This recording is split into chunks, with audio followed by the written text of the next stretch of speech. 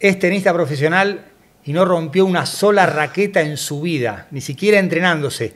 Ya ese dato merece respeto. Del resto se va a encargar él mismo. Aquí en Clank conversamos con Tommy Echeverry.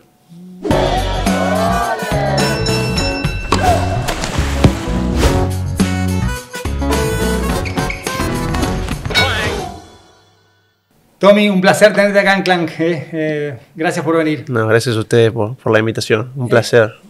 Tommy, eh, después de un año excelente, eh, cuartos de Rolanga, 30 del mundo, ¿cuándo dejas de pensar en lo que conseguiste y te empezás a enfocar en ese quizás año más difícil que es mantener o mejorar lo hecho? Sí, ahí obviamente hablamos mucho con el equipo eso, porque ahora ya los jugadores te empiezan a conocer, empieza a ser un año difícil que hay que volver a hacer lo que se hizo este año o mejor, que es el próximo objetivo. Eh, pero nada, ya ahora ya estamos focalizados desde, el arranque de la pretemporada a lograr esto, a tratar de seguir mejorando, que es la clave de, de si quiero seguir subiendo. Y, y bueno, ver qué cosas yo puedo implementar en mi juego para volverme un jugador más diferente y todavía tener sorpresas, ¿no? Que eso es lo importante. ¿Y qué recurso le puedes agregar a tu juego? Bueno, mejorar el saque, la precisión del saque es una de las cosas que estamos buscando y tratar por todavía ser un poco más agresivo y por ahí por momentos volverme un jugador que no sea tan, por así decirlo, eh, que sepan dónde voy a jugar, sino más imprevisto. Esa Claro. es una de las claves. Eh, menos lineal, si querés. Menos lineal, exactamente. eh, ¿Cómo se mejora el saque?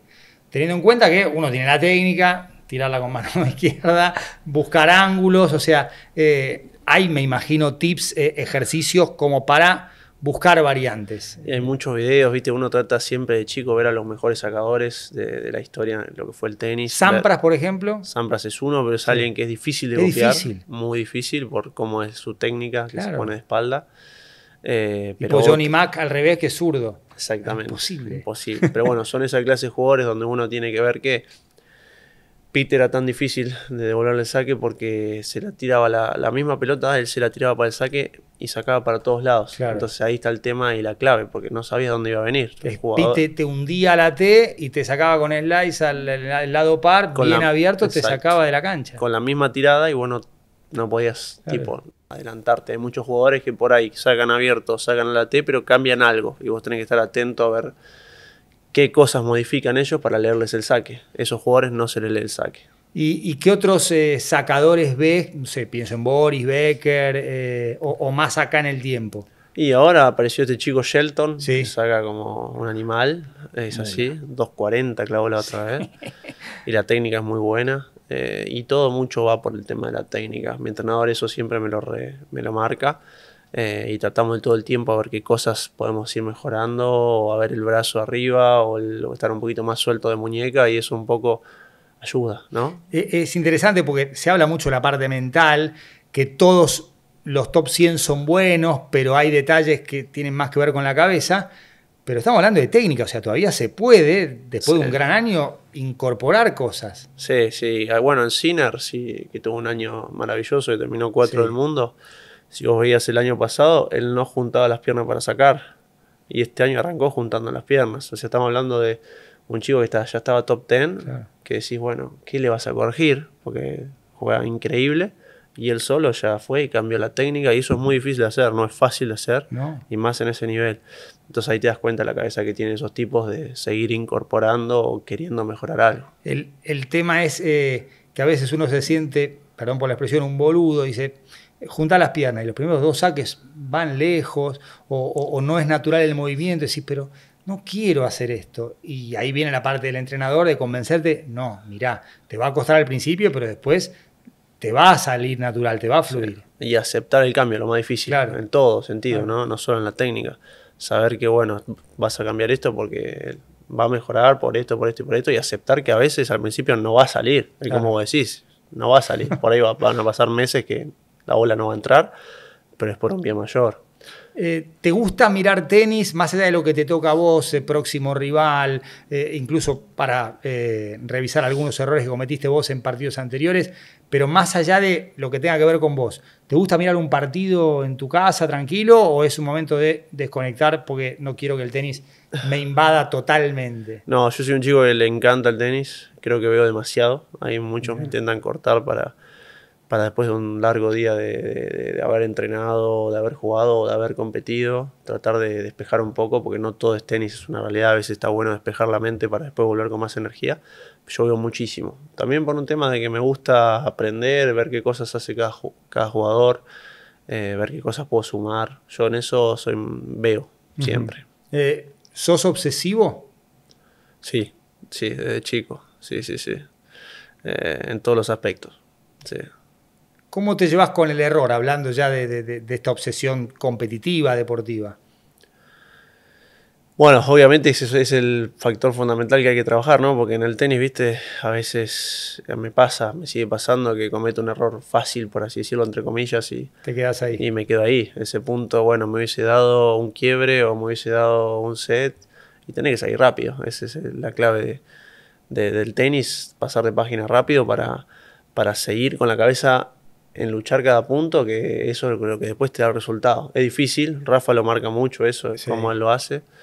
Eh, pero de chico uno, viste, con laburo de psicólogo, laburo de, mismo desde el entrenador, te van llevando a cómo es el camino. ¿Laburás con el psicólogo? Sí. ¿Hace cuánto que laburás con psicólogo? Y yo ya hace un montón. ¿Con el mismo? Sí, con Pablo hace más de seis años. ¿Pablo Pécora? Sí, con Pablo. Ah, sí, lo conozco. Sí. Fenómeno, lo veo bastante. También, bueno, con mi psicóloga también sumo un poquito con, en La Plata con una psicóloga personal. Así que, viste, hay, muchos aspectos donde, donde se puede trabajar, ¿no? Y, con tu entrenador, eh, pienso en lo que él te puede decir después de una bola fácil que vos cerrás, que te dice vamos, vamos. Y decís, ¿qué vamos, boludo? ¿Viste la pelota que perdí? Perdí la chance de, quebrar el, saque, de, de, ganar el partido. Hay como una tensión entre él que te dice, dale para adelante y vos querés ir para adelante, pero todavía estás en esa bola que erraste. Sí, eso es lo, Muchos jugadores a veces lo expresan y le dicen al entrenador, viste, che, ¿qué me está diciendo? Mirá lo que me acabo, de errar. Yo creo que ahí uno tiene que estar, tratar de saber que, todos tiramos para el mismo lado y tu entrenador va a querer lo mejor para vos y está por ahí tratando de, sacarte de ese momento que quieras o no, es difícil. ¿eh? Yo estoy en ese lugar y me agarra una calentura y quiero romper todo. Pero bueno, hay que bajar porque a los 20 segundos tenemos que estar jugando otro punto y ya pasó. Y hay que ganar ese, pues si no, si estás enganchado, ya arrancás en desventaja. ¿Cuántas raquetas hubieras roto si no te hubieras frenado a tiempo? Más allá de que quizá rompiste alguna porque no te pudiste frenar o no te quisiste frenar, cosa que a veces el desahogo ayuda, pero me imagino que son muchas más las que. no, no, no, no. Mirá, yo nunca rompí una. ¿Nunca? Nunca. ¿En tu vida? Nunca. Ni en un entrenamiento, nada, de chico, nada. Nada, lo único de chico lo que fue que se me escaparon en el saque cuando uno está medio contra sí, sí, sí, pero es solo sacando. Ahí sí se me rompieron, pero de calentura nunca. Nunca. Buenísimo eso. Sí, sí, sí, sí. Eh, es raro, pero sí. No, raro, no, es positivo. Positivo. Si te lo dice alguien que rompió 50 raquetas jugando de tenis amateur, tengo 53 años, no me enorgullece, me da vergüenza. Hay cosas que hice dentro de la cancha jugando nacionales, más 40 que otro día si quieres te cuento, pero un papelón, pegaron así la de Yusni, ¿viste? ¿La de Yusni sí? Sí, sí, no, pero me pegué con el marco. Y, ¿Por qué te abriste puntos? Sí, sí, no, no, no, puntos no, pero me toco acá en la frente y veo rojo. Mira. Y me tuve que ir a, la oficina en San Fernando, fue, en 2010. Y ahora hay un par de. Eh, ahora jugadores como Bublik que te parten. Pero, está mal. sí, me dio vergüenza. Mirá, me pasó esto, me golpeé con la raqueta. O sea, estaba en partido, perdía tres en tercero, era increíble, en papelón. O sea, lo cuento hasta, diría, como haciendo terapia, haciendo catarsis con, con vos y con, con la gente. Pero, eh, ¿de dónde viene esa compostura? ¿Tus viejos? Eh, sí, mis viejos, mis viejos. Sí, creo que fue desde chico, desde que arranqué con esto ellos me, inculcaron, por así decirlo, algo de que la raqueta no tiene la culpa y que eran caras en su momento y eso lo sabía y era difícil conseguir una. Y bueno, eso nunca traté de evitarlo, la raqueta no. Si me agarro conmigo mismo y, obviamente es difícil, ¿eh? no es fácil una vez. Pero no, la raqueta yo nunca. Qué bien eso.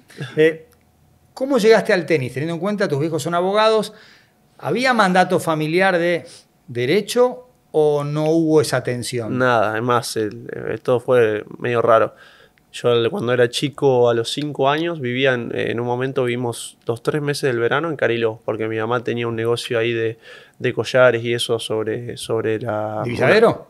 Eh, Ahí, no, eh. ahí donde es el centro de Cariló. Sí, sí, la avenida Ahí. de donde está el, el centro. Ahí, Re lindo, sí. sí, sí, re lindo lugar. Súper sí. lindo. Y ahí con- muchos años ahí. Con mi hermano siempre, nada, chiquito, yo con cinco Tres años. meses de vacaciones. Tres meses de vacaciones. Hermoso. Hermoso. Íbamos con el cuatri a todos lados. Sí, con esa edad. Sí, sí. Obviamente era chiquito, pero no llevaba a mi papá. Y bueno, nada, una experiencia increíble. Bueno, y ahí todo arrancó porque mis abuelos me regalaron para Navidad. No sé si vos viste ese juego que va con un hilo y vos lo enterrás en la Claro, playa. perfecto. Y Con las paletas y la bola con va la girando. paleta y la bola sí, gira. claro, sí, sí, sí, sí. Me lo regalaron para Navidad mis abuelos. Y yo no me acuerdo, en ese sentido no me acuerdo nada de cuándo me lo regalaron, nada. Y nada, ellos cuentan que el primer día que me lo regalaron, al otro día ya estaba en la arena jugando tres horas por día, todas las tardes, solo. Solo con el sol, yo iba y le jugaba. Y ahí me dijeron, bueno, este chico quiere jugar al tenis. Y al otro año me mandaron por primera vez a Cariló Tennis Ranch, yo arranco Sí, ahí. claro. Arranco ahí a jugar una- en la escuelita, Hermoso club. además. hermoso club, Sí, sí, sí. muy grande. Y ahí fue el primer contacto con la raqueta.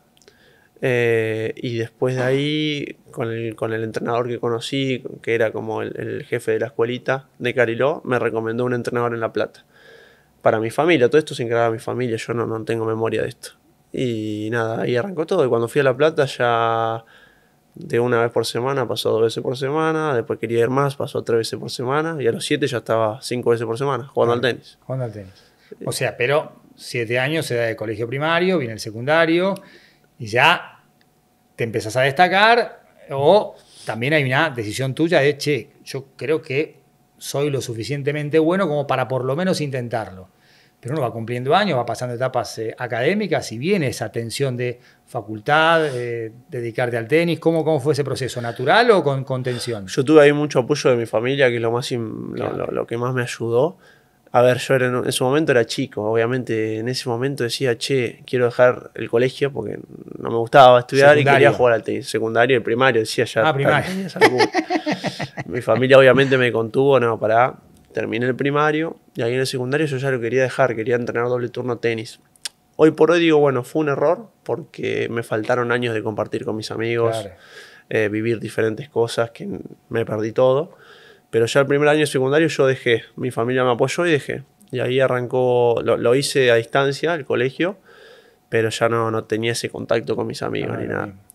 Y nada, ahí arrancó todo, no sé, tendría ya 11 años, ya no iba más a, a la secundaria, ya estaba compi- compitiendo nacional, nacionales acá, viste, los G1, G2, los sudamericanos, o sea, en ese momento... Era, ¿no? El circuito o ex Eso un poquito más, Más grande. adelante, más perfecto, adelante. sí, sí, sí. Yo ahí es todo más nacional. Sí. Eh, ya era número uno ahí de la categoría. A los 11, 12 yo ahí ya era número uno. Eh, y también dejamos eh, el colegio porque más allá de que mi colegio me, me ayudaba a esas faltas, el año anterior antes de dejarlo ya tenía 45 faltas. Entonces ya estaba compitiendo por todos lados. Eh, se me hizo difícil. Y yo antes también hacía otro deporte, hacía fútbol hasta los 10 años, hacía fútbol y tenis. Dos cosas. Jugaba ahí. ¿De qué jugaba? De 5 jugaba De 5.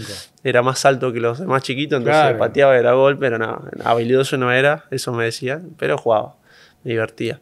Y tuve que decidir a los 10 un deporte, porque 9 o 10, porque se me empezaron a juntar los torneos los fines de semana. Entonces o era partido de fútbol o era el tenis. Y decidí yo ya, bueno, vamos por el tenis. Eh, y ahí arrancó todo, así arrancó. Me imagino tu compañero de colegio, aún sin verte, porque estuvas a distancia, tenemos al número uno del ranking de tenis. Me imagino que, que en ese momento había una cuestión de, de orgullo de ellos y también tuyo, de, che, mirá, ¿dónde estoy? Siempre me apoyaron, siempre más. Sigo teniendo el, el grupo de, de- de mis amigos del jardín. Y al día de hoy, viste, nos juntamos cada vez que estoy acá y sí, se acuerdan de todo, todas las cosas también. Yo, hay muchas anécdotas de chico.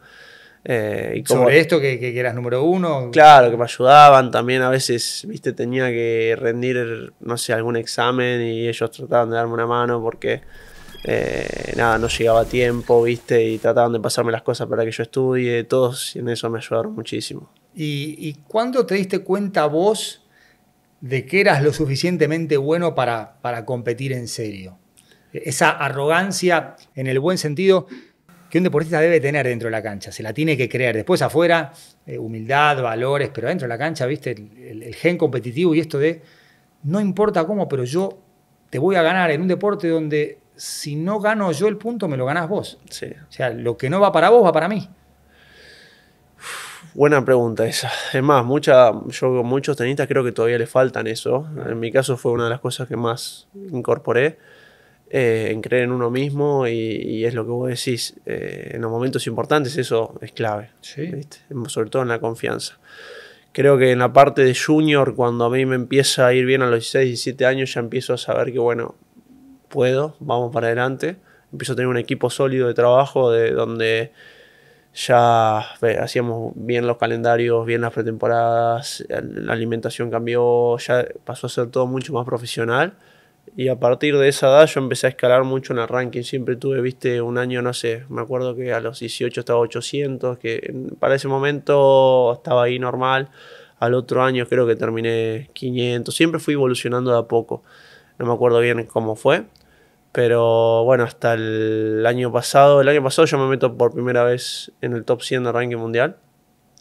Que ahí estaba el entrenador, uy, perdón, Charlie Berlock. Sí.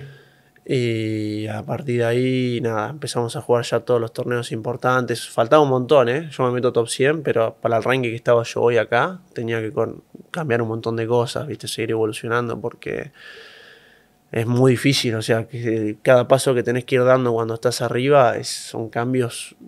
Este año cambié todo, que la derecha, cambié de raqueta eh, el año pasado para tener este año.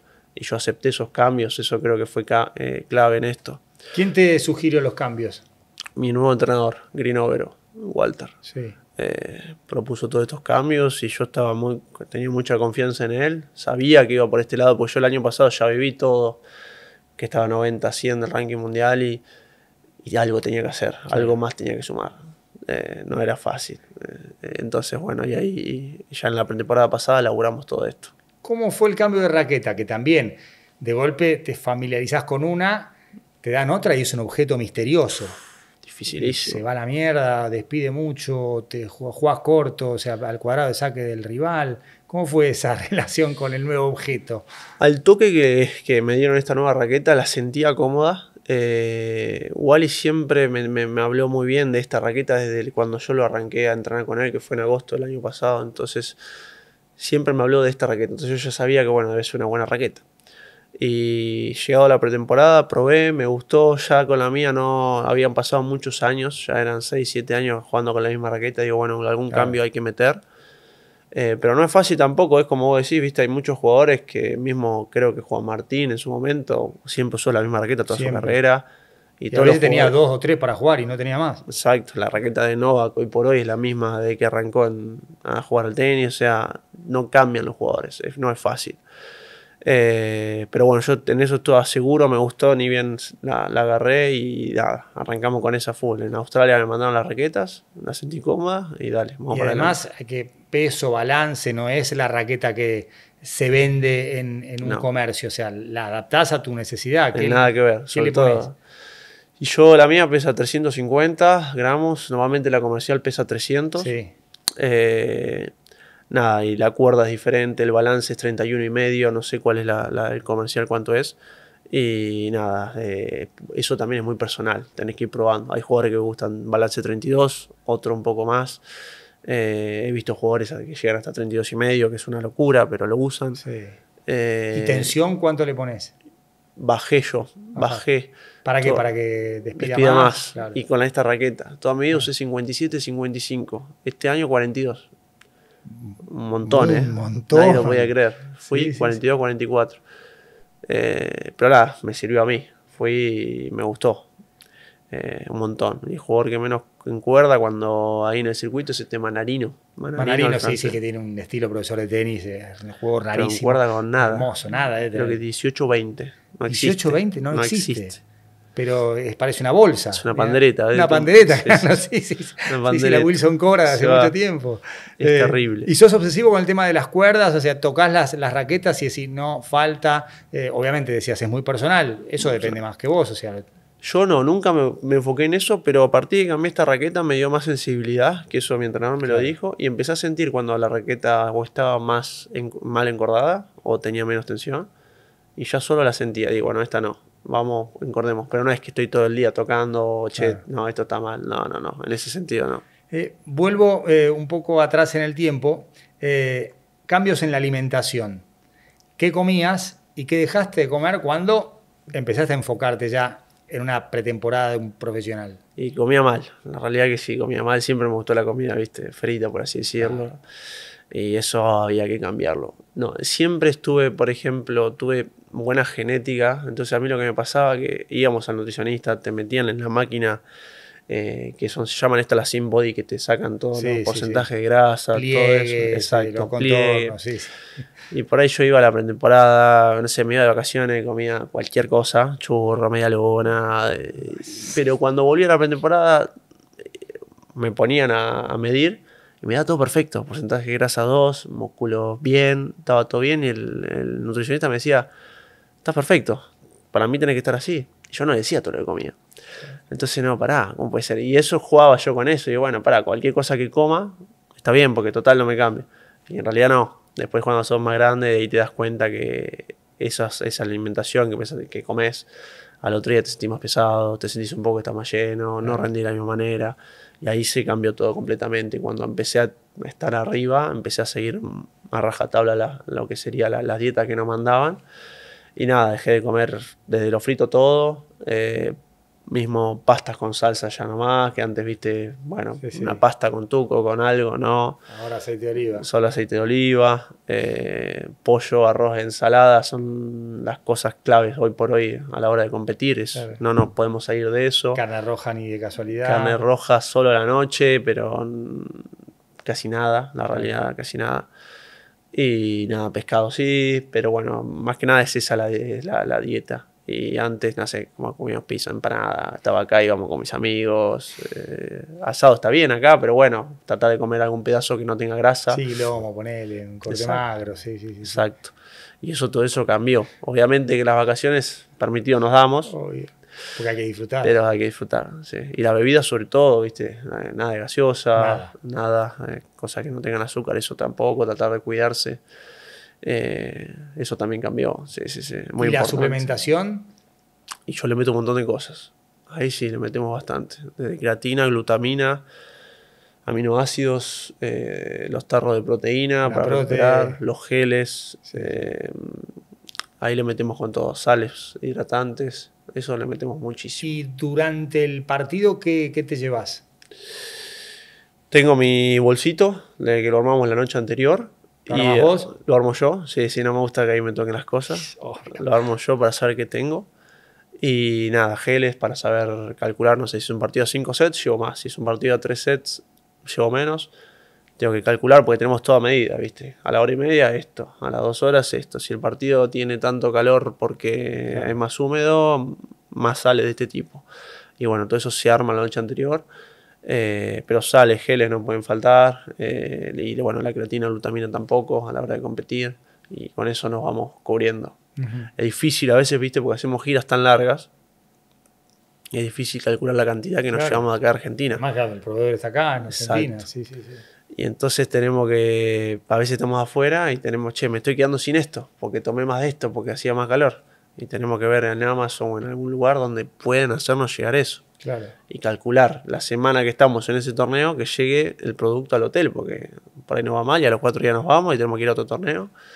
Ah, es un estrés. Es un estrés, sí, sí, sí, Sí, no sí, es fácil. sí. A veces terminamos jugando con, tomando otra cosa, de otro producto. Que También además ahí tenés que mirar la etiqueta, sustancia. el, doping es terrible, Es terrible, ¿no? terrible, Eh, desgastante, desgastante. ¿Cuántos controles, eh, eh, por ejemplo, eh, tuviste que cumplir este año? Y este año, eh, 25 habremos tenido. 25. Sí, sí, sí. ¿Orina y sangre? ¿Orina solo?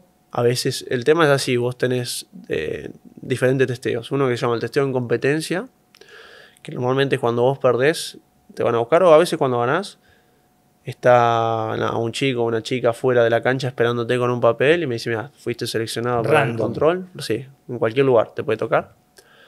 A partir que él se aparece con ese papel, vos tenés que firmar el papel y él te empieza a seguir. Te tiene que seguir a todo lado que vos vayas. Tenés una hora y media, la regla cambió, antes no estaba esta regla de la hora. Una Había hora y más o media. menos tiempo antes. No, ilimitado. Ah, ilimitado. Entonces, en una hora y media vos tenés que aparecer a- a- al control antidoping, que están todos en, un- en una habitación. Entonces, bueno, vos ahí aprovechás después del partido, te vas a bañar, querés comer algo, comes, pero él siempre te ve. O sea, si entras al baño y te vas a bañar, él te tiene que ver, quien sea. No, él no puede dejar de mirarte. O sea, vos te estás bañando y él te ve. Te ve. Estás ahí, te ve. Es, nada, es frustrante, te, te, te querés matar. Pero es. Es terrible. Y normalmente lo primero que hacemos, ¿viste? Es- La transpiramos tres Cor- horas. cor- Corro la cortina. No te deja. puedo- no te deja Te correr tiene que ver. Y es terrible. Y vos Pero no, después. no, no, es una, inva- a ver, una invasión a la privacidad, me imagino que, vaya que la regla es la regla, debió haber algún reclamo de los jugadores, che, me estoy bañando. Yo la verdad que no tengo ni idea. Como es mi primer año, ¿viste? Claro, te- total, sí, sí, sí. Pero Sí, sí, debe ser, ¿viste? Es raro. Normalmente, porque te querés sacar el chivo, todo lo que chivaste, Obvio. vas a bañarte. Sí, sí, sí. Bueno, cuando salís de ahí, vas a donde sea, o a elongar, o a comer, o a hacer algo, Y él y te él, ve te, sigue. Normalmente vamos después de ahí, vamos a hacer prensa, y él te sigue, y no te puedes dejar de seguir. Bueno, ahí vas, entras a la habitación y haces doping, que normalmente es orina. Claro, ahí es orina, porque Ahí la es extracción de orina. sangre es más sencilla de, de- de hacer. Ahí es orina. Claro. Y a veces pasa que en el partido vos vas en el medio del set al baño porque te estás Claro. meando, pumba, después que salir a la cancha no tenés ganas. ¿no? Entonces empezás a tomar. Yo en mi caso ha habido veces que salí a la cancha, no tenía ganas de tomar líquido, estuve 3, 4 litros metiendo porque no tenía ganas de hacer ¿Y ahí que tomas agua o Agua, diuréticos? Gatorade Claro, tomar, Gatorade, a ver sí, sí, cómo podemos sí. Agarrar ganas. Además es una desesperación. Uno quiere hacer pis para cumplir con el protocolo y no. Es no hay terrible, ganas. terrible, no hay ganas. Y el otro es el protocolo, eh, hay uno más que te... Eso es en competencia, lo que Eso es en recién, competencia. Y después hay otro que es afuera de la competencia que nosotros todos los días tenemos que poner dónde vamos a dormir en un programa del teléfono, que es de la UADA. Y tenemos que poner un horario durante las 24 horas del día, que yo voy a estar en ese lugar. Entonces yo ya le aviso que en este horario, no sé, pongo mi casa, hoy voy a dormir esta noche en mi casa, pongo la dirección de mi casa y mañana de 6 a 7 de la mañana, que yo lo pongo a esa hora, me pueden caer. Que se llama el doping sorpresa, te caen cuando quieren En tu casa, en La Plata, en por mi ejemplo. casa en La Plata o si me quedo esta noche en un hotel en Buenos Aires, tengo que poner esa dirección y yo me tengo que acordar. Porque muchas veces, Claro. Que ha habido casos, ya este año ya super- suspendieron a dos jugadores que se olvidaron de poner dónde iban a estar. Y al otro, año al otro día fueron a hacer el control sorpresa y ellos no estaban. Y eso es una falla. Nosotros tenemos tres fallas por año. Si tenemos tres fallas por año y vos, nada, no estuviste, es un doping normal. Estás dos años afuera, te queda la carrera. Te caga la carrera. Te caga la o carrera. sea, eh, a la tercera falla que ellos van a tu casa o al domicilio registrado y vos vos no estás, pum. afuera. Sí. Y es, nada, es, es que es terrible. Yo, normalmente los jugadores tenemos alarmas. En mi caso Sí, tengo sí. alarmas. Que me avise porque yo está todo bien, hoy duermo en mi casa, pero se presenta algo. Y no sé, voy a la casa, termino durmiendo en la casa de mi novia. Sí, claro. Porque no sé, porque a la noche me llamó, cheque esto que lo otro, dale, voy. Me olvido de hacer esto, me caen y chao, una, una cosa. Y vos no podés cambiar el domicilio ahí. yo no puedo No podés avisar, o sea, vos tenés que. O sea, me volver. toca avivar. Claro, claro, no, no. Y cuando ya te llaman es tarde. Ellos tienen, la regla es, ellos van a esa hora, 6, Sí.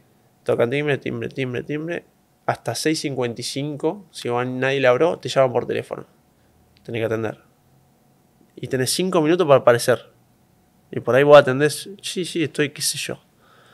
No, est- estoy en- me fui al hospital, me fui a comprar algo, listo, tenés 5 minutos para volver. Durísimo. Si no llegas a las 7 Durísimo. no es fácil. Hay a veces que por ahí esos cinco minutos te dicen, bueno, te esperamos. Depende Sí, también un de, poco de buena de- voluntad. buena voluntad. Sí, sí, sí. Normalmente, ojalá, nunca me pasó, pero creo que te esperan si, si le pedís, no sé, saliste por alguna urgencia o algo pasó. Pero nada, sí es, no, es difícil, no es fácil, hay que llevar un control, tenés que ser muy profesional con eso. Y nada, es el control que tenemos los, los tenistas. Entonces, en mi caso, está bien. O sea, me 25 adapté. tuviste este año 25 más o menos, sí. Entre torneo y lo de afuera. y lo de afuera. Eh, ¿Y con el descanso eh, tuviste que cambiar algún hábito o, o siempre eh, te fluyó la posibilidad de, de dormir bien y no tuviste quilombo con eso? No, siempre dormí bien. Por ahí de chiquito me, me ponía mucho más nervioso. Es más, yo hasta los 17 años, esto, esto, todo el mundo lo sabe, o 16 años, vomité todos los partidos de mi carrera. Yo iba a la cancha del estrés que tenía, vomitaba. Antes de entrar vomitaba, o a veces cuando jugaba. Con mucho laburo eso lo pude cambiar, pero yo estaba estresado, ya no, no, no, no me ¿Pero era una cuestión nutricional o era una cuestión mental? No, no, mental, mental, Totalmente estrés. ¿Cómo lo laburaste? Eh, relajarme un poco más, saber que, a ver, de acá, si quiero hacer esto de acá 12, 15 años de carrera, eh, que voy a vomitar todos los partidos. Y después con la alimentación también me ayudó. Eh, antes comía muy mal, yo creo que eso, eso también tenía que ver. Eh, la hidratación también. Y bueno, con ese estrés tampoco dormía bien. Yo a la noche no dormía nada antes de jugar. Y ya hace un par de años ya sí, eso se fue elaborando. Además, el descanso te ayuda a jugar mejor. Clave. Clave, es clave. Pero bueno, y a veces ha habido muchas finales o torneos que yo me acuerdo de chico que no he dormido. Iba y jugaba. Pasaba. Y he ganado también sin dormir. Eh, sí, sí, pero reflejos, eh, toma de decisiones, hay un montón de cosas que tienen que ver con el. Disminuyen. Sí, baja, baja drásticamente. Es así. Sí, sí, sí. Em, y ahora dormís bien, sin problema. Ahora sí, sin problema. Sí, sí, sí. Eh, también hay, hay, jugadores que toman pastillas, que se yo, melatonina, que es natural, cosas para dormir. En mi caso no, pero hay, hay esas cosas te pueden ayudar también. ¿Cómo surgió la idea de ese primer cartel con tu primer punto de, ATP, y encima Djokovic en ese momento tenía 12.900, 12.900. Eh, que es una bestialidad. Eh, ¿Y ahora cuánto tiene? Ahora, eh, no sé, pero hay 9.870 de diferencia entre los tuyos y, los de, él. O sea que si sabes cuántos tenés vos, debe tener 11.000 y pico. Vos tenés 11.000 y pico, sí, está ahí. sí, sí, sí. Está ahí. Sí, sí, sí. tengo 1.300. Saqué la cuenta en la calculadora y, dije, en algún momento la voy a, te voy a dar el número, pero bueno, ahora que, surgió el tema, te lo cuento. no, eh, ahí arrancó, tenía un entrenador en ese momento que se llama Luciano y estábamos en Ecuador, en Salinas. Y jugué por mi primer punto ATP, que eso para el tenis, cuando vos conseguís tu primer punto, es como que algo importantísimo. Ah, te, como que sos profesional. Total. Y un logro que, nada, a mí me costó muchísimo. Me acuerdo que no sabes cómo jugás, o sea, un miedo tenés porque querés sacarlo. y bueno, lo conseguí ahí y mi entrenador se le ocurrió eso, vamos a hacer esto para la academia. Por eso él pone abajo, en, la primera foto dice Green Cock, que así se llamaba la, academia. ¿Luciano? ¿Cómo Luciano Cabeiro. Ajá. Me dice, vamos a hacer esto. Yo siempre fanático de Djokovic. Saqué la foto, nada, la guardamos para nosotros y en el top 100, cuando entro el año pasado al top 100, a mi hermano creo que se le ocurre eh, o no me acuerdo a quién, me dice, vamos a, vamos a hacer de vuelta la foto. Y ahora con estos puntos. Sí, vos tenías 804 y él tenía 7160. Sí. Y pasaron seis años de la primera foto. Claro. El 2022 creo que fue en el 2016. Sí, exactamente. Y nada, ahí se volvió viral. Y justo el año pasado, este año juego primera vez con Djokovic en Roma. Y él también, viste, ya ahí nos empezamos a conocer. ya, ya sabía, claro. chico y ya sabía y tengo que, tengo que hacer otra. No, no, no hice más. Pero nada, fue muy lindo, muy lindo. Sí, sí, sí. Siempre él me gustó como jugador y siempre. Siempre te gustó, en una época donde quizás de los tres era el menos votado, porque éramos fan de Roger, fan de Rafa. Encima Djokovic vino a ser el tercero en discordia, el que dijo, miren, no es un asunto de dos, es de tres. Ahora creo que es para mí el mejor de la historia por todo lo que ganó pero en ese momento hasta caía como antipática la figura de Djokovic, porque siempre nos arruinaba la rivalidad, claro. Siempre fue, el villano en la historia mal contada para mí, digamos. Eh, sí, sí, es así. es así. Pero siempre fue el malo, la gente, viste, en el sentido, siempre apoyó a Roger y a Rafa, pero yo de chiquito iba con él, ¿eh? O sea, por más que los otros eran más grandes, jugaban entre ellos. ¿Qué? ¿Por qué? Algo más, además, la historia mía que yo tengo también, que a veces la cuento, es yo cuando tenía 17 años siempre usé Babolat y siempre usé eh, Wilson cuando era chiquito. Y un momento digo, quiero usar Head. Y quiero usar Wilson de Roger, bábola de Rafa. Claro, usé mucho la, de, la de Rafa, con esa yo siempre jugaba. Y en un momento quería usar Head por él. Quiero la raqueta de Djokovic. Así le decía a mi entrenador y en su momento los que me estaban entrenando. Quiero ese modelo, pero la raqueta de Djokovic. Yo no, ni la había probado. directamente me mandaron esas raquetas y arranqué a jugar, por más que no me gustaban. Yo quería jugar con esa. Por eso yo termino con esa raqueta. De ahí a de los 17, 18 a esa raqueta no paré hasta el año pasado, pero era porque era la de él. Y después me enteré cuando empecé ya a jugar mejor y a estar compartir con él que no era la raqueta que él usaba, nada que ver. o sea, cualquier cosa. Era totalmente diferente. Pero sí, de chiquito siempre un fanatismo por ahí, no sé por qué. Creo que sobre todo cómo compite, la mentalidad que tiene. Es no, y hablando de cambios, de su dieta, de descubrir la celiaquía, eh, cambio de entrenamiento, cambio de raqueta, hasta cambio de ropa. O sea, Djokovic entre 2010 y 2011 cambió un montón en esos dos años. Muchísimo. Eh, bueno, él lo cuenta, tiene un libro que sí, Sí, sí, los 14 días sin comer gluten, lo tengo. Sí, y él es una persona, lo que vemos, todo el tiempo intenta mejorar algo. Es un obsesivo mal. Y él todo el tiempo mejora. Entonces hay que estar, aprender de eso, ¿no? Tiene 36 años y ahí donde está. Y quiere ir por más. Y él te lo dice, viste, en las entrevistas, queramos o no, te dice, mira, yo voy por todos los récords. Y te lo dice y y va por eso, es, imparable en ese sentido. Ahora, en un punto también hay que descolgar el póster cuando se trata de competir contra él. Bueno, no debe ser fácil. En París jugué de vuelta y ya era diferente. Yo como lo veía y le quería ganar. no, me importa que te salga de, enfrente y ya ahí ya fue diferente a lo que fue en Roma, por así decirlo, que por ahí un poquito más impactante que iba a jugar la primera vez contra él. Ya en París fue diferente. También compartir varias semanas durante el año y vernos tantas veces en los vestuarios y eso es como que ya está. Claro, te lo naturalizás. Parte, lo naturalizás. Claro, claro, Ese debe ser un, ajuste necesario y lindo de sentirte parte de la élite, o sea, eh, sin mirar de arriba a nadie, pero sí, yo pertenezco a esto. Y estoy para esto, estoy para ganar. Exacto, sí, sí, sí. no es difícil.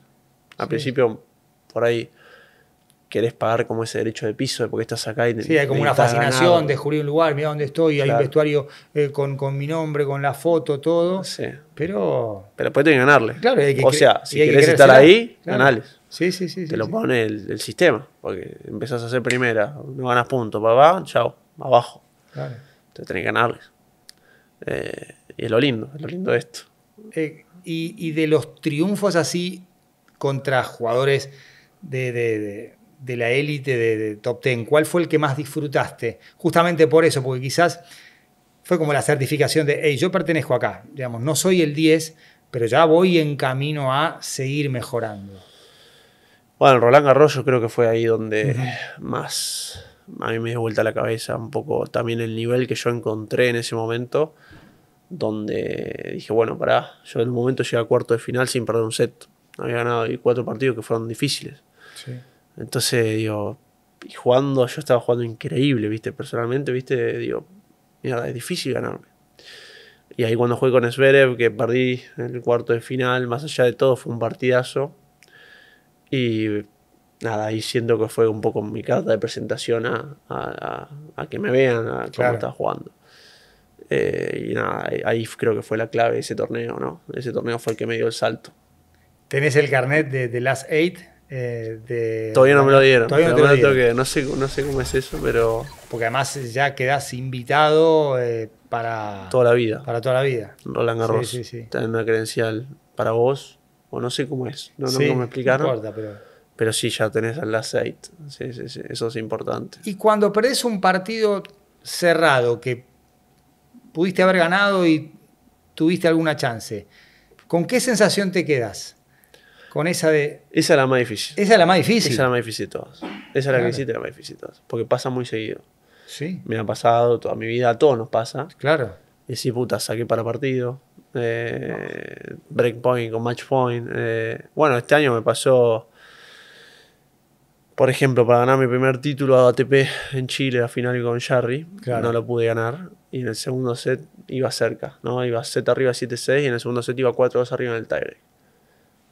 Tuve miedo, nervios. No jugué mal. ¿Tuviste miedo? Tuve miedo, no jugué mal. Pero el método termina ganando. Y ese, ese partido me quedó resonando en la cabeza. Digo, che, si hubiese hecho esto, si hubiese hecho lo otro. Y eso es lo que más te queda.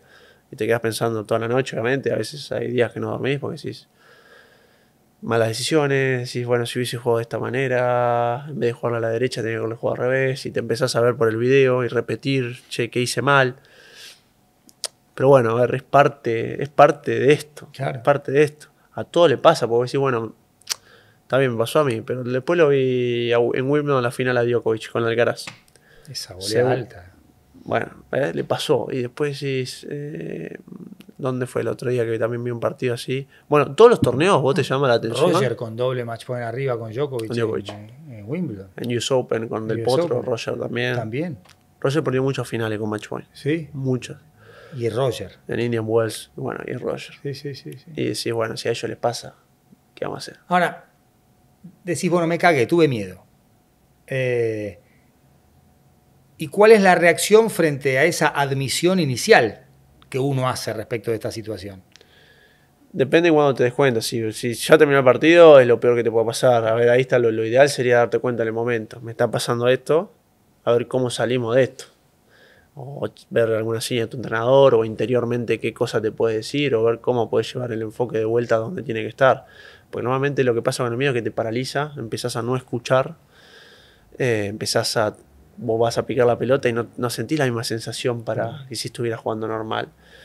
Eh, entonces ahí es un poco donde, bueno, con, con tu psicólogo en mi caso, hay- hay jugadores que no usan, pero en mi caso, ver, bueno, qué cosas podemos tomar para en esos momentos salir de lo que está pasando. A ver, alguna palabra, alguna frase o respiración o lo que sea. Eh, y después cuando estás afuera, bueno, ya está, me cagué, tuve miedo, me equivoqué, listo. Vamos a la próxima semana, porque esto es lo lindo también de Claro. esto. Todos los lunes vamos a jugar de vuelta. Me pasó esto la semana pasada, listo, la semana que viene tratemos que sea diferente. Y así vas tratando de mejorar cada día y cada semana, porque va a pasar, ¿eh? o sea, a todos nos pasa. Va a seguir pasando. Eh, ha jugado con Babrinka, con, con Andy Murray, eh, que son leyendas. eh, que hasta incluso su mejor momento ya pasó, a diferencia de Djokovic, que parece que siempre es- está en su mejor versión, pero siguen jugando por amor al tenis. Sí, O sea, es terrible. admirable eso. Increíble. Yo mismo yo les digo a veces en el vestuario eso. Es increíble lo que hacen por el tenis. Eh, Murray, viste, me llevo muy bien. Con él compartí un montón de entrenamientos durante todo el año. Y nada, la verdad que es una leyenda para todos, viste.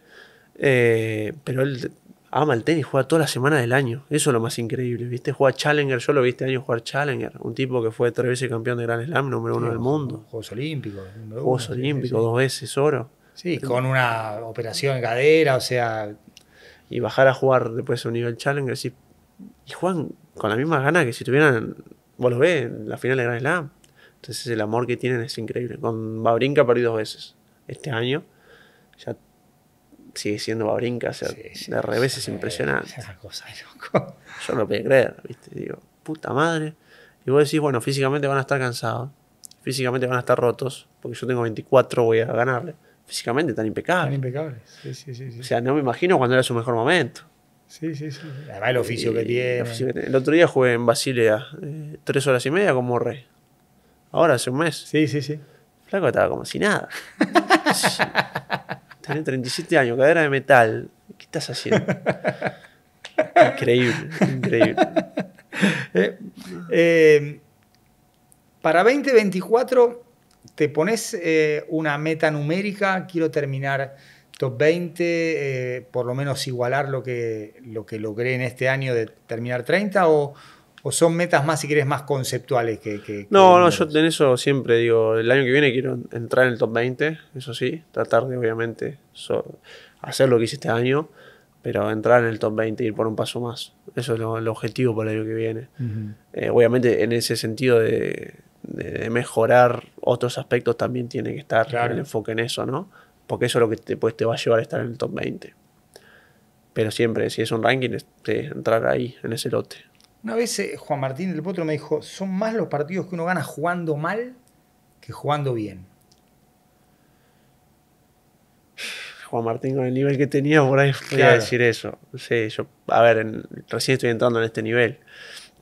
Es verdad que durante el año los torneos que nosotros nos sentimos jugando increíbles son muy pocos. O sea que decís, che, me salió todo, che, que bien estoy jugando, son 5 o 6 torneos contados, jugamos 30. Nosotros tenemos que ganar y hay a veces que jugamos con lo que tenemos, eso es cierto. Eh, pero en este nivel, obviamente, si te toca, qué sé yo, Sinner, Alcaraz o tipos que están ahí dentro del top 20, que es lo que me está pasando ya con este ranking, si no jugamos bien es difícil ganar. Claro, claro, claro. Es cierto. Claro, el umbral eh, tiene que subir para poder ganar esos partidos. Esos partidos jugando mal. Jugando mal. Eh, a veces, uy, una vez Rafa en una entrevista dijo, cuando estoy cagado juego todo, todo cruzado. Todo cruzado. cruzado Todo cruzado. ¿eh?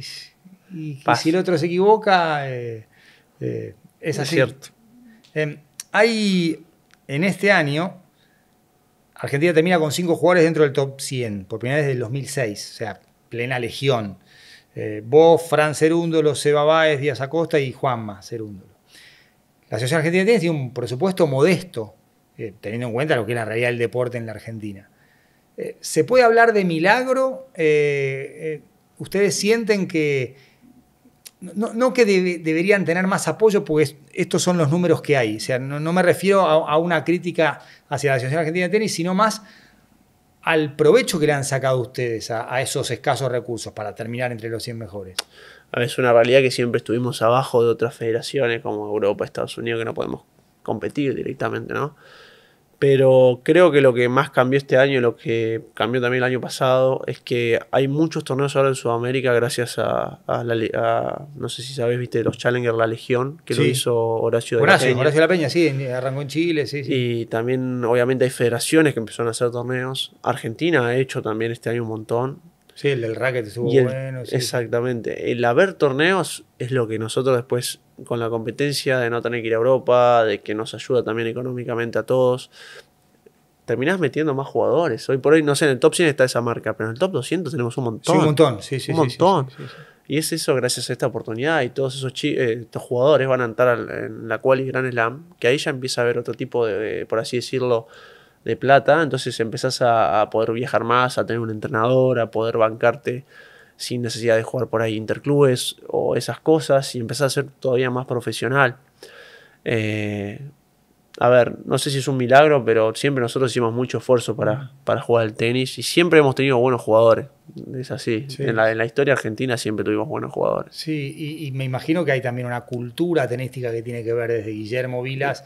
Eh, para acá en el tiempo. 100%. Hay cosas que se van transmitiendo de generación en generación. 100%, es así. Ahora, bueno, en mi caso, el año pasado, eh, perdón, este año jugué por primera vez la Copa Davis y lo tuvimos de Guille Coria de capitán y también tenerlo ahí, que es un ídolo para todos, ¿viste? Porque de chiquito lo veíamos a él jugar, sí, sí, sí, estando tres del mundo y también que él te, te, transmita cosas es algo que decís. Sigue siendo mago con la raqueta. Mago, sí, increíble agarra una bola. nada, sin jugar hace no sé cuánto. Te agarro en envidia y decís, ¿cómo haces, flaco? Eh, ¿Tuviste en algún momento estrés económico de, bueno, necesito plata para armar equipos, para viajar, más allá del respaldo de la familia? Eh, llega un momento en el que no solo pensás en el siguiente paso, sino en la plata que podés ganar para financiar el resto del año o parte del año? Sí, obvio, eso siempre está y sobre todo, en, bueno, por ahí, no sé, muchos chicos argentinos, pero yo tuve sponsor, tuve que salir a buscar sponsor para poder eh, bancar mi carrera. Eh, porque bueno, en su momento me ayudó mi familia y después tuve que salir a buscar. Claro. Y eso es difícil porque en definitiva estás tomando una decisión que por ahí después te terminas endeudando, por así decirlo, ¿no? Te prestan plata, pero después tenés que devolverla. Eh, y a veces uno cuando están los futures, en ese nivel donde por ahí es más bajo, donde no hay plata, terminas, viste, por ahí yendo, no sé, terminas a un restaurante donde no tenías que ir porque es más barato, y empezás a jugar con eso que al principio está bien porque no hay y es lo que hay que hacer. Pero bueno, después, no sé, terminas pensando, che, si ganaba este partido, ganaba tanto, entonces te impresionaste porque en ese partido, en vez de estar pensando en cómo jugar, estabas pensando si ganaba, ganaba tanta plata. Claro, eso. O sacaba tantos puntos y te daba tanta plata para jugar un tipo de torneo. Entonces ahí es donde empezás a errarle y el pensamiento tiene, tenés que tratar de, corregirlo, ¿no? Pero a diferencia de lo que yo veo que pasa con los europeos o, o chicos donde tienen otro apoyo o otras federaciones que van y juegan y mejoran y no están pensando en eso. Esa es la diferencia de nosotros. Ha pasado, ha pasado, me ha pasado en varios, varios torneos, varios años. Y, y, hoy, digamos, tenés otra relación con la plata porque has ganado más. Eh, ¿Podés disfrutar de eso o, o, esa tensión inicial quizás influye en cómo te manejas con la guita? A ver, yo creo que en ese sentido, hoy, eh, en el, cuando empieza a haber plata, uno tiene que seguir enfocado en el tenis y, no estar pensando tanto en eso, porque por ahí uno ahí empieza a marearse y, termina perdiéndose lo que es lo importante, que lo que te va a dar más plata es que sigas jugando al tenis, que es lo único que sabemos hacer. Entonces en ese sentido hay que tener cuidado, que eso siempre, por suerte tengo un buen equipo de trabajo que me guía, también lo tengo a mi tío, que él siempre me ayudó a, Clave eso tener. Sí, personas cerca. Tengo también a, mi familia que me, ayuda mucho con este tipo de cosas. Pero sí, no, marearse, ¿no? Tratar de estar tranquilo y, y seguir pensando en el tenis, nada más, que es lo que, lo que mejor que hago. ¿Es verdad que te deportaron de Europa en 2021? es cierto, es cierto. ¿Cómo fue? Estaba en Alemania, era el momento del COVID. Claro. Era agosto, creo, no me acuerdo. Estaba, iba a jugar un Challenger en ese momento. Y estaba yendo al aeropuerto de Colonia primero para entrar a, desde Boña de Herzegovina. Estaba en Boña de Herzegovina, que no queda, o sea, queda en Europa, pero no es partido de. No es partido de, la Unión Europea, sí del, del área Schengen es, creo. Entonces, cuando quise entrar a Alemania, presenté el pasaporte, fui ahí a migraciones y había un viejo, viste, con anteojos. Digo, es raro, ¿viste? Algo me llamó la atención ahí. Estábamos solos con mi entrenador.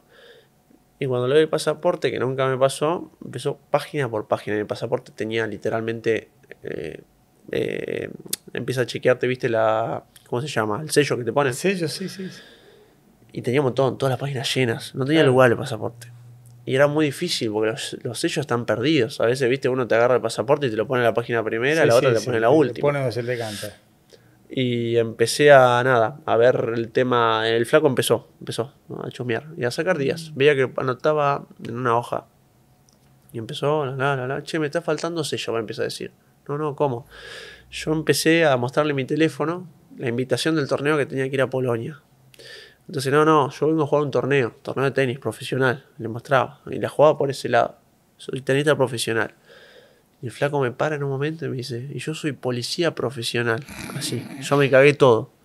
Cuando el flaco me dijo eso, me cagué todo, me quedé callado así. Y en un momento veo que sí, con el pasaporte no dije nada y llamó a dos militares. A dos, a dos policías, perdón, dos militares. Dos policías cayeron con armas, por eso es lo que me asustó. me pongo blanco. Bueno, seguíme, me dijeron, y me fui a la comisaría del aeropuerto. El flaco, mira, flaco, te pasaste de día, tenés 94, vos podés estar 90, así que nada, no podés estar. Y terminé esa noche durmiendo ahí en, lo que sería la comisaría porque me, dijeron que tenían que mandarme a Argentina, perdón, a Croacia, eh, perdón, a Bosnia. A Bosnia, claro, donde estaba. Volver donde estaba y la regla es que tenía que volver ahí y después vos arreglate. Pero te tengo que mandar allá. Bueno, bueno yo ahí ya comunicándome con mi equipo, que bueno, me tengo que volver porque no, no me dejan pasar, yo a las puteadas, comunicándome con la ATP, a ver qué puede hacer la ATP, claro. qué cosa me puede dar, porque es injusto que no pueda jugar el torneo. Me dice, no, no podemos hacer nada, esto es parte del gobierno. Bueno, conclusión, al otro día subo al avión escoltado, al avión que iba a Bosnia, no me dieron mi pasaporte, se lo dieron al piloto y me sentaron como si fuera un delincuente. Sí, sí, y nada, yo, la gente me miraba, este flaco que, había, que hizo este flaco. Bueno, llego a Bosnia, cuando bajo el avión quería recuperar mi pasaporte. Y vinieron dos policías de Bosnia. También yo a, responder a las preguntas de qué me había pasado.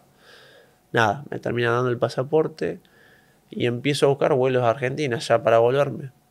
El tema que tenía, que era justo el año que había COVID, vuelos no había, no había. y los pocos vuelos que había eran que pasaban por algún lugar tenía que volar o a París y París, Argentina, y yo no podía entrar. ¿Me entendés? Porque ya tenía un sello estampado rojo. Claro, ya, ya y no puedo entrar, no puedo hacer conexión. Claro, el policía ya te había puesto el sello de no puedes entrar. Entonces lo que me pasó es que tenía que buscar algún otro país que conseguí Turquía, Estambul, a Argentina para yo no hacer conexión en algún lugar de Europa. Claro.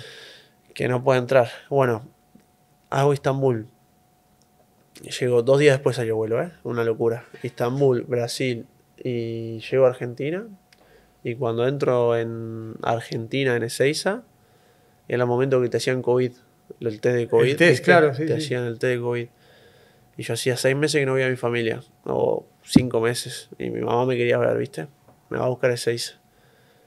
En el momento ese me hace el, test de COVID una chica, que El una- rápido. el rápido y me dice, bueno, quédate ahí que ahora te llaman por megáfono y ya te dan negativo y te vas. Y en un momento sale Echeverry y vienen dos personas de salud, no sé, digo, no lo puedo creer lo que me está pasando. E imprimen como cinco cosas, no sé qué imprimen. Flaco, diste positivo, me dice. Tenés que irte al hotel del gobierno, ahí te- quedarte aislado 10 días. Así, No, así. no, no, No, no, no, yo me- no, no entendía nada. Mi mamá afuera, que nada, pobre, estaba ahí afuera, no, no lo podía creer lo que estaba pasando. Y me llevaron al hotel acá el 9 de julio y terminé ahí 10 días. Y ahí terminó la, La después de odisea. la odisea. No te puedo creer. Quería matar. ¿Y sentiste, digamos, eh, el- los síntomas del, del A los COVID? tres días. A los tres días. Tres días estaba mal. No tenía gusto, me sentía mal. Además, tardó en volver. Era la época de una variante esta que no sé qué Sí, había en sí, Europa. sí, sí, sí. Y así terminó, me quería morir. No, increíble, No, no, increíble. no. O sea, pero un cuento Cuento. Sí, no lo podían creer la gente que se que, digamos, termina siendo real y el protagonista sos vos. O sea, Sí. si, si, si lo contás y, uy, pobre pibe, qué sé yo, no, no, pero yo la viví esa. Y eso es un tema. Y ahora, después de, de ese- el tema de, de los días, es un tema para todos los tenistas, es complicado porque Claro. tenemos que estar todo el tiempo fijándonos. Bueno, me quedan 15 días, ¿qué torneo jugamos? Y a veces si nos pasamos tenemos que ir a otro torneo, que en realidad queremos jugar otro, pero tenemos que ir a otro porque está fuera de Europa. Claro. Y decís, che, Vos tenés pasaporte argentino, digamos. exacto. Conseguí igual hace un mes el italiano, entonces ya ahora me quedo Y tranquilo. ahora está tranquilo. Sí, eh, tenía a mi abuelo de parte de, de mi abuelo que era italiano, entonces, bueno, lo pude sacar después de mucho tiempo. Pero nada, Eh, en abril de 2022 muere tu hermana, Magalí, de cáncer de mama. Sí. Eh, ¿Cómo fue ya no solo el tuyo, sino el proceso de la familia frente a una situación que vos ves que, lamentablemente va, va avanzando y empezás a convivir con un montón de, malas noticias y de malas sensaciones? sí, fue durísimo, durísimo para todos hasta el día de hoy. Eh, luchó, luchó mucho tiempo, la realidad. eh, no lo podíamos creer cuando viste ese diagnóstico por primera vez, nadie lo podía creer. Eh, difícil, difícil, ¿no? Eh, de- tengo ahora dos sobrinos hermosos que en eso tratamos de- Claro. de, Eh, era mayor que vos. Ella era médica, se recibió a los 26 de medicina. Y bueno, esto pasó cuando tenía 30.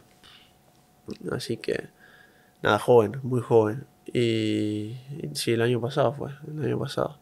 Muy duro, muy difícil para todos. Y la familia, digamos, por un lado vos tenés que seguir compitiendo, de hecho creo que le ganás a Karatsev en Tel Aviv. Yo estaba en Israel cuando me pasó. Sí. Sí. eh, y era mi primer triunfo ahí con top 50 y se lo dediqué a ella, fue justo cuando estaba allá. Y, Y y esta cosa ya- de quiero volver, no, no, sí, seguir Sí, compitiendo, es como una tensión. Ahí ya sabíamos que, que estaba muy mal y que en cualquier momento iba, iba a suceder. Pero nada, sí, estaba allá, después volví de- después de ahí.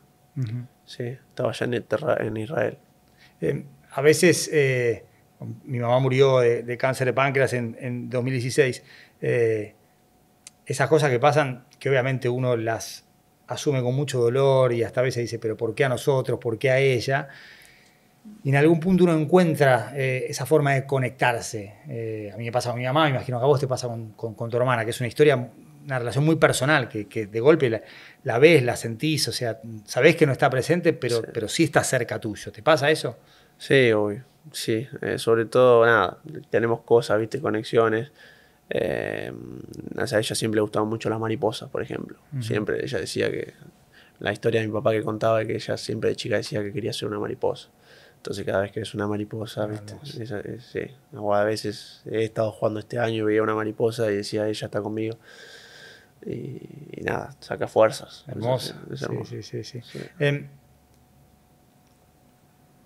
si esta nota la hiciéramos el año que viene, en 2024, eh, ¿cómo te gustaría, digamos, estar a nivel tenístico y qué plan tendrías para 2025? Y estar top 10, eh, perdón, top 20 y para el 2025 entrar al top 10. Sí, sí, sí, ir a esos pasos. Bien. En este, sí. ¿Y, ¿Y, cuánto sería la diferencia con Djokovic? De aquel, eh... Y ahí si entra al top 10 sería, si él sigue jugando, que va a tener 41, calculo que sí, serían 6.000 puntos, 5.000 puntos será. Sí, ¿por qué no menos? ¿Por qué no menos? Sí, sí, sí. Si entra al top 10. Y, si sigue así, capaz que él baja, ¿eh? Claro, claro, claro. A vos ni se te ocurra bajar. A mí no, pero no, no. a él capaz que sí. Eh, y si estás match point con Djokovic, lado par, o sea, eh, ¿dónde le sacás? A T, ella la T, me la juego. Sí, de derecha es increíble cómo devuelve. Nadie se arrepiente de ser valiente, ¿no? Nadie se arrepiente. Ah, hay que jugársela. Hay que jugársela. Es así. Tommy, placer Ah, de haber tenido acá. Muchas gracias. Gracias. Vamos.